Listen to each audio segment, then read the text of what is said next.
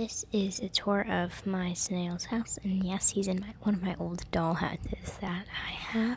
So this is the front door right here, and um, I can fit the phone through, so I just did this.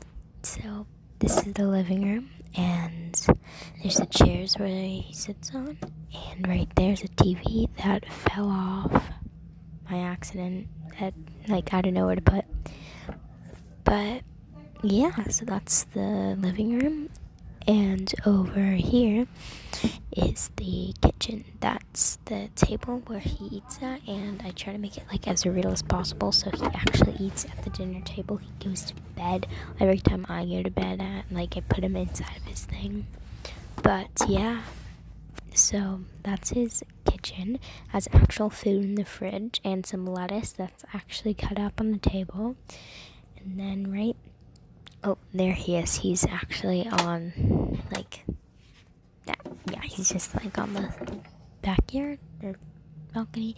This is the washroom. There's the shower, there's the toilet, and there's actually toilet paper all there too. Wait, there you go. Um, yes, this is voiceover. Um, this is the like wall that has a sink, and there's a bed in there can't really see it because the lighting was bad, but I'll show you again soon. Okay, there, there's the bedroom, uh, the parents' bedroom. That's that's one whole big room, and yeah, so that's the washroom. Then this is the ch- children's room, like his room.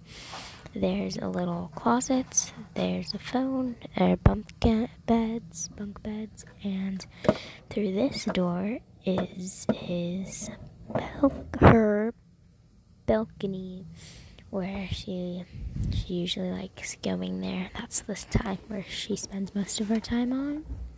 And yeah, so I just wanted to show you guys this. And yeah, so it can also actually close too. So I thought that was really cool.